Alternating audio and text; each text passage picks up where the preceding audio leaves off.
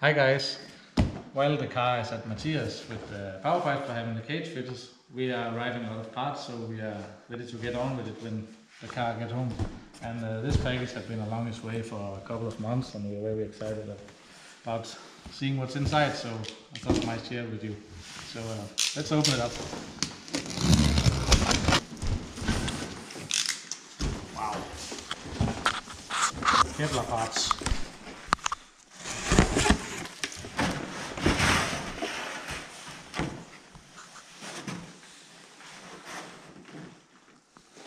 Heavy guy. It's so light. Can't wait to fit it on the car.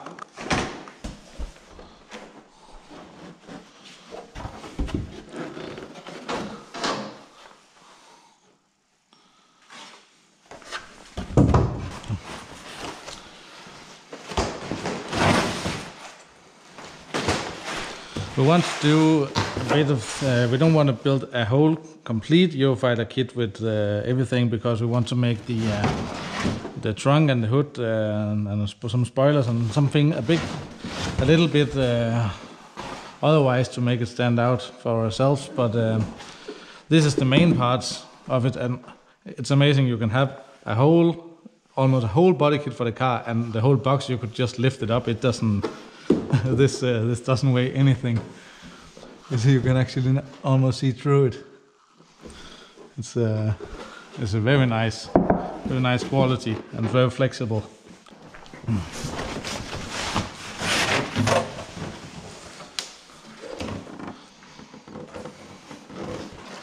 It's very different from fabricating these parts in in, in fiberglass because in fiberglass you put on the coating and you are not able to see the the grain on the the part when it's finished because it's just be white or whatever color you use.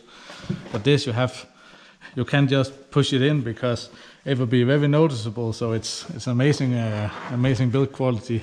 All those small things for keeping the the front bumper in place.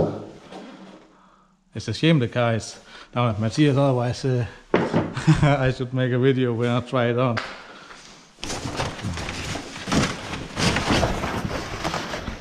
Wow.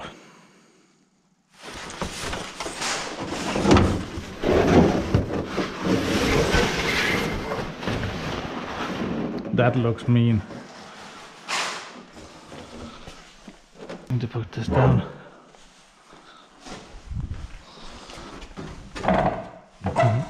It's amazing how careful you are with these parts, but uh, it's like when you paint a drift car, you're very careful about it. But when once it goes on the car, you're just riding along the wall. Is uh, is strange.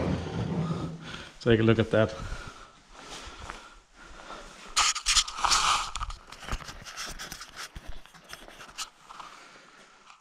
Wow, it's uh, there's so many details in this.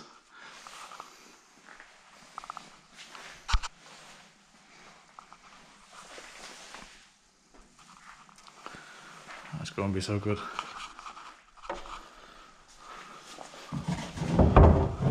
Not just a shell is is very strong for all of these uh, extra reinforcements.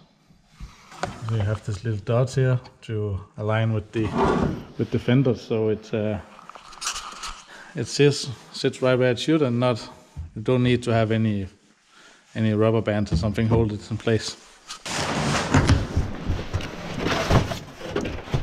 Side skirts.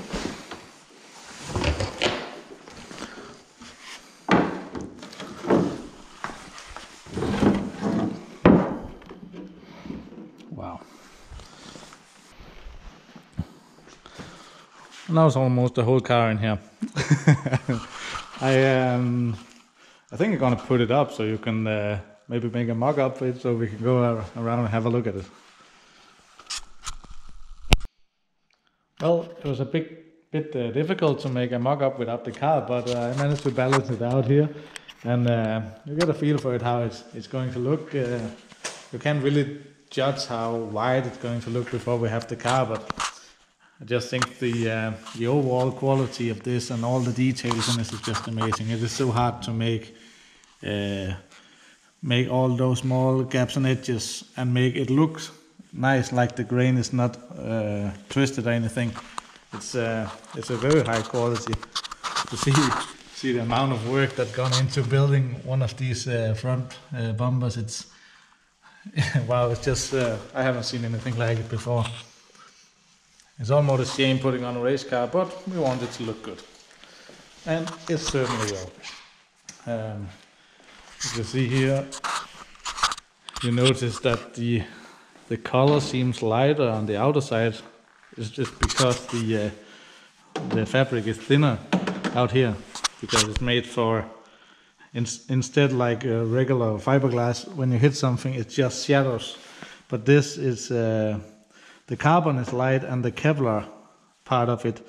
It's very. Uh, it's the kind of stuff you use for bulletproof vests. It's very. Uh, you call it, it is strong. It won't tear as much. So if you hit something, it will just uh, in the theory pop right back out, and uh, I think that's going to to save us a lot of money in extra parts.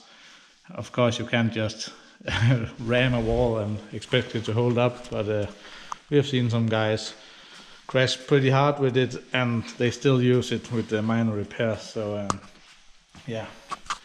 Can't uh, wait to see how it turns out when it goes on the car. It, uh, I will be sure to make another video of that. Um, yeah, it's uh, another video, and uh, I hope you liked it. See you out there.